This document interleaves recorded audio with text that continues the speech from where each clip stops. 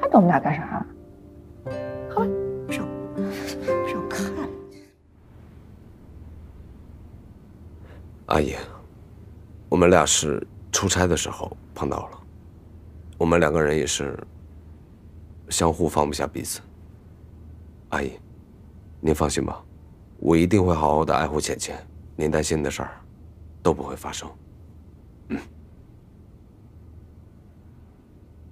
妈，柠檬刚想起来，老盛总的车祸是因为刹车出现了问题，但是刹车为什么会失灵，我们现在还不知道，我们会继续调查。但可以确定的是，不是因为孔明灯，所以你担心的事情根本就不存在了。我就是要和哲林在一起，你要相信我们。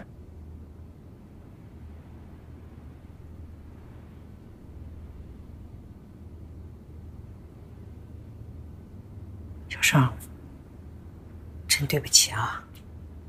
以前跟你说了那么严重的话，阿姨，对我有什么要求，你尽管说，我都会努力做到。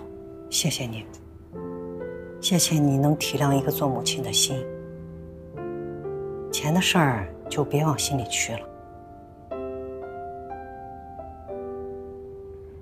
妈，嗯，知道你在担心我，保护我，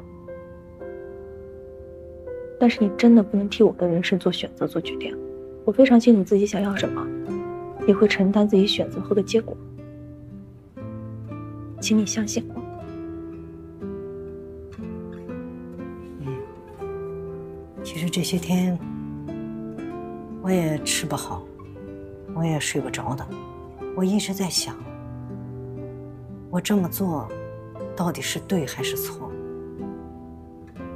不过今天看到你俩这样，我知道我做错了。夏倩，妈再一次给你保证，以后你感情上的事情，妈绝对不会再干涉。哎，他这话我听过不下十遍了。哎，你这好了好了，这件事儿就此打住，但是你得补偿我。啊，我想吃油爆虾，还有爆炒蛏子。你说你这孩子的脑子，那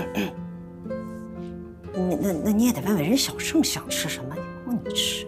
嗯，他想吃什么，我就想吃什么。好，油爆虾、蛏子。